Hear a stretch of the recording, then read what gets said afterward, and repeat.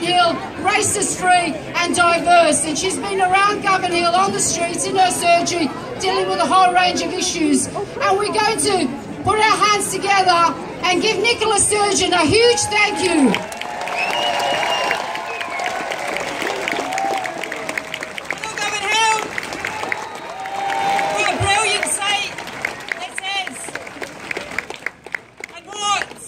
Fantastic asset to have in our community, this brilliant Queen's Park Arena. It's wonderful to see it so full of people, so full of colour, so full of life, vibrancy and diversity. Let's say it loudly and clearly. Diversity is a good thing and we should welcome it.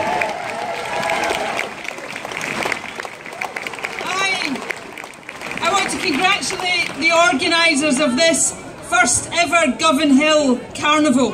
I hope that it goes from strength to strength and this is an event that we have and celebrate and see grow every year from now on because it is about celebrating all that is good about Govanhill and about the South Side. And let's be very, very clear. There are lots and lots and lots of good things about Govanhill.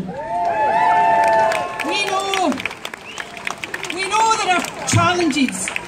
There are big challenges and it's right that we talk about them. It's important that we talk about them and it's important